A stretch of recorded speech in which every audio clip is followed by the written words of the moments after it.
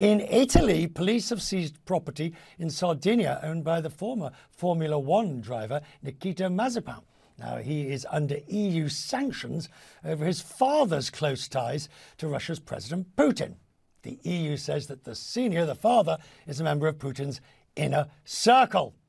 And as for Nikita himself, he used to drive for the Haas Formula One team. That was until the sponsorship was removed. His father's fertilizer company sponsored the team. The team has terminated his contract, uh, Nikita's contract, in the wake of the invasion of Ukraine. We are pleased to have Nikita Mazepin, who joins me now. Sir, thank you for joining. Um, so, your assets have been seized or will be if they come into the purview of, of uh, Western authorities. How is that affecting you? Hey, Richard. Um, you know, thank you for having me. In in respect to the question that you've asked me, uh, I'll be honest. You know, I'm not going to be crying tears. You know, over this. Um, in the bigger picture, it's not important. And of course, at some point, we'll be looking at the options uh, that we can be taking in terms of sanctions and in terms of Villa, but you know that's just that's just time down the road. I sort of feel that it, it, we, we can talk sanctions and how sort of you feel about the fact that your uh, your contract was terminated and the sponsorship and all of those sort of things. But I think, sir, we do need to ask where you stand on this war. What is your view on this war? My view is that you know whatever is going on right now, um, and I can only see a very small bit from where I am in Moscow. You know, it's it's very painful, um, and I definitely feel it.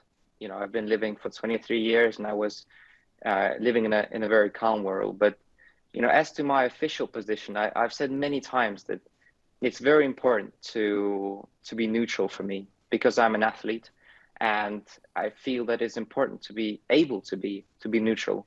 You know, and even for that, I have created a foundation uh, that will help athletes stay neutral in principle. Can you understand how people hear that and say, "How can you be neutral?" when half the world is saying that there's a genocide underway at the hands of the Russian government? I understand, and, and as I said, I, I feel that it's hugely painful, but I feel that you know for who I am, and I feel myself as an athlete competing. You know, used to be competing in Formula One.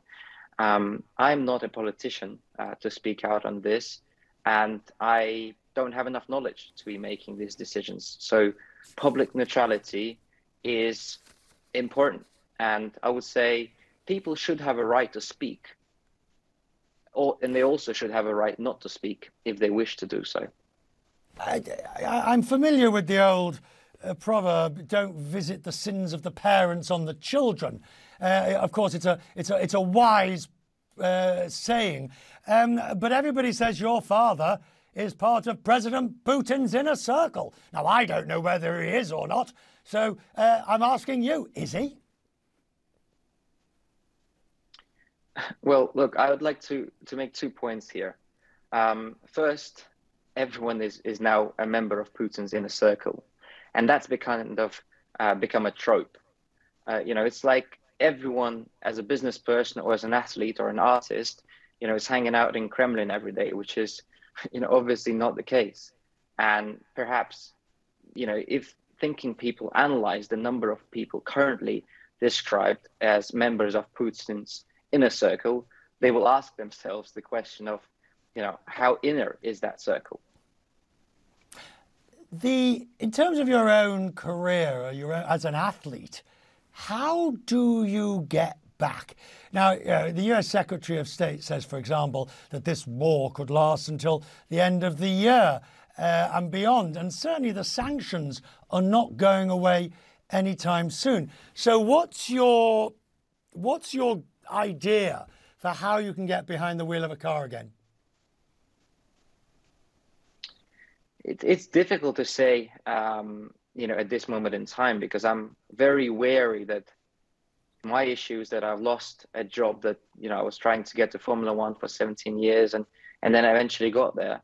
Um, but it's a very minor issue if you compare to the big things that is going on in the world right now. So, of course, you know I would love to get back to the sport. Um, I feel that I've got a lot of unfinished business there, but you know it, it just needs. I need to wait until things um, cool down, and I don't even know who I can get back to because you know, Haas has obviously done what they did with right. playing not the cleanest game, in my opinion.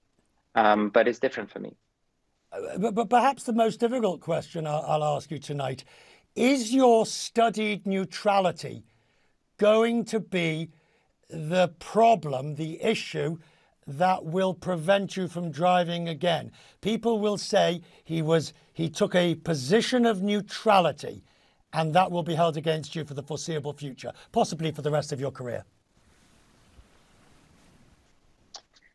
Well, it's a question that I feel is quite easy to answer. Um, I think every, as I said, everybody has a right to speak or not to speak, and FIA, the highest governing body, has enabled me to compete as long as I'm neutral. But um, I would say the biggest issue here is, you know, coming back to the sport, where teams are allowed to to be you know keeping sponsorship money um, without fulfilling the contract and you know even even asking for more even though they say they don't want money from Russia. So I, I'm not sure, but the sport values need to be evaluated for me after this.